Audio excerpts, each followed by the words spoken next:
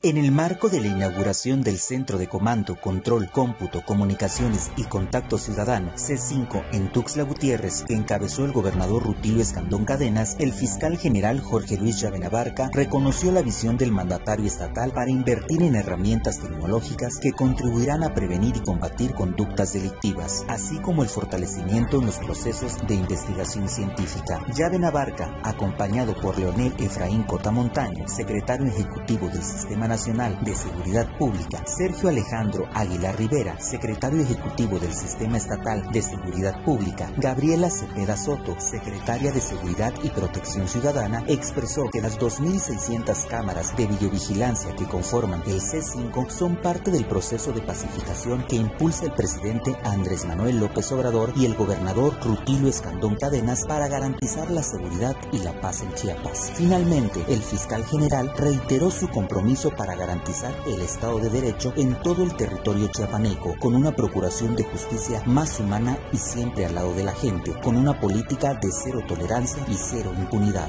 Para más información, visita nuestra página web y redes sociales